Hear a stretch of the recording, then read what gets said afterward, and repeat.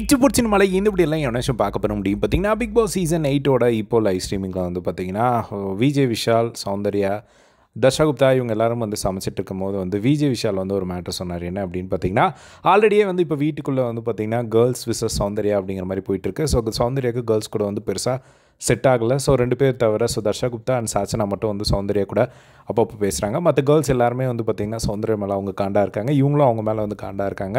அந்த ஒரு விஷயத்தை வந்து நம்ம பார்த்துட்ருக்கோம் ஸோ இப்போ என்ன ஆச்சு அப்படின்னு பார்த்திங்கன்னா வந்து இன்றைக்கி இன்னைக்கு ஃபுல்லாகவே வந்து விஜய் விஷால் அவங்க கூட தான் அவங்க உட்காந்து சௌந்தர்யாவாகட்டும் சாச்சனாவாகட்டும் தர்ஷாகுப்தவா இவங்க எல்லாருமே பேசிகிட்டு இருந்தாங்க.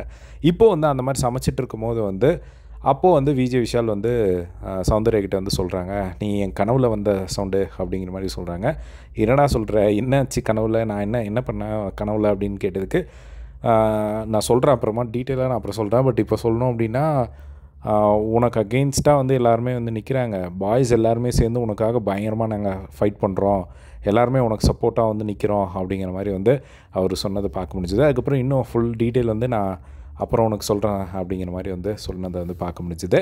ஸோ இதுதான் வந்து பார்த்திங்கன்னா அவங்க அப்போது சொன்ன ஒரு விஷயம். அதுக்கப்புறமா ரெண்டு பேருமே வந்து விஷால் ஆகட்டும் சௌந்தர்யா ஆகட்டும் பெருசாக இன்னும் பேச சான்ஸ் கிடைக்கல. ஐ திங்க் அவர் பேச சான்ஸ் கிடைச்சா அதை சொல்லுவார்னு நினைக்கிறேன்.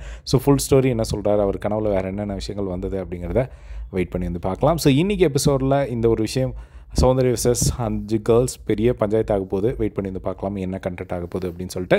இதே மாதிரி எல்லா பிக் பாஸ் அப்டேட்ஸும் தெரிஞ்சுக்க நம்மளோட சேனலை சப்ஸ்கிரைப் பண்ணி சப்போர்ட் பண்ணுங்கள் தேங்க்ஸ் ஃபார் வாட்சிங் இஸ் பை